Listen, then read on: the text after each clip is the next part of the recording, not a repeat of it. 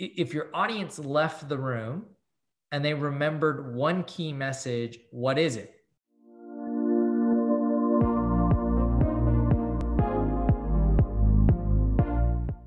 We've talked a lot about the substance behind being trusted in, in being a thought leader.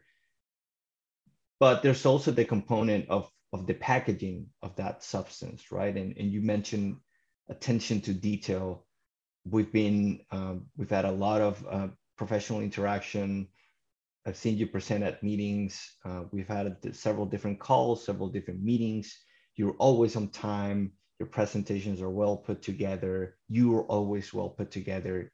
Would you say this is something that you always had because your attention to detail or this is something that you've been uh, incorporating in in just learning maybe from mentors or other people on how is it that you can yes, work on your substance and in, in your thought leadership, but also work on how you package that so the so that it's more easily accepted when when being in front of others. I think it's a combination of both.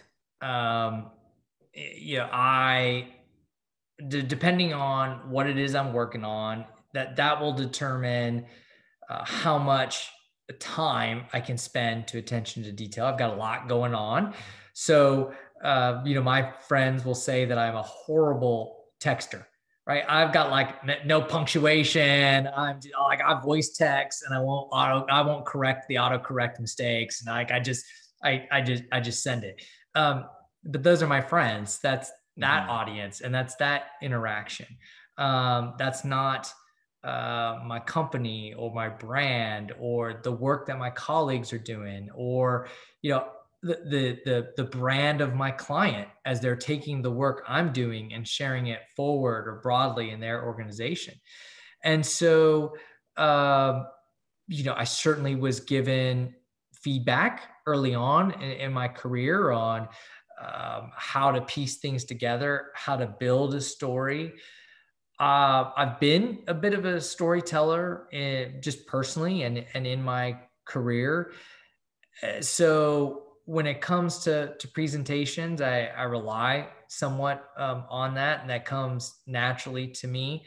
But anybody can de- can hone that skill and mm-hmm. and can develop it.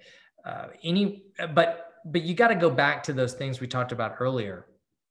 Empathy, you know if i approach it always from my perspective as opposed to my audience's perspective i'll miss the mark. Mm-hmm. i have to think about what they need to get from this content or this information.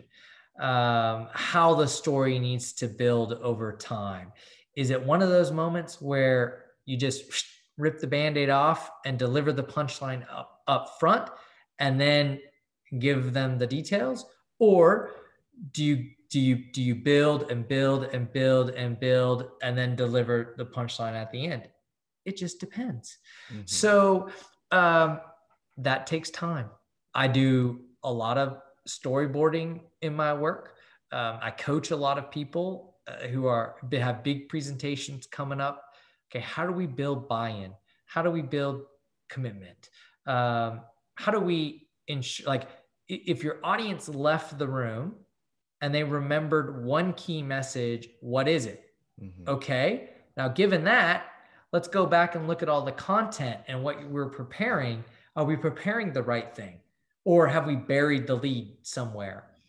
That takes work. It also takes failure and uh, learning about you know what what is successful and what isn't successful authenticity is key you know people won't believe you if you're trying to fake it.